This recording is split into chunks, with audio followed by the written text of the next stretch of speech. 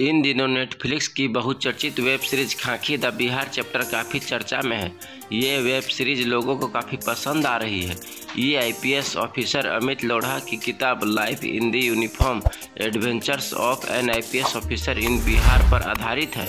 इस web series में TV अभिनेता करण टेकर ने अमित लोढ़ा का किरदार निभाया है, जबकि सुपर विलेन चंदन महतो के किरदार में अविनाश तिवारी नज़र आए हैं।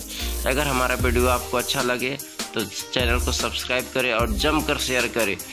तो चलिए बढ़ते हैं आगे। आज हम आपको Khakee the Bihar chapter web series के सुपर विलेन चंदन महतो का किरदार निभाने वाले अविनाश तिवारी के बारे में बताने जा रहे हैं, जिन्होंने चंदन महतो के किरदार में खाकी में जान डाल दी है। इन्होंने बहुत मेहनत की है।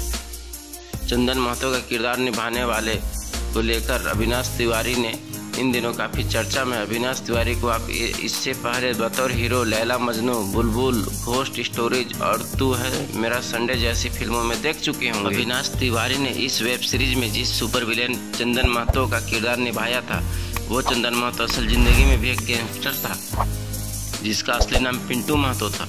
ये किरदार पिंटू महतो की ज़िंदगी पर आधारित था। पिंटू महतो अशोक महतो गैंग का सबसे सातिर और खतरनाक गैंगस्टर था। किसी दौर में यह गैंग बिहार पर राज किया करता था। पिंटू महतो ने तब कई लोगों की जाने ली थी।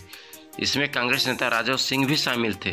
तो इसी तरह की जानकारी के लिए आप हमारे चैनल को लाइक, सब्सक्राइब और शेयर करें।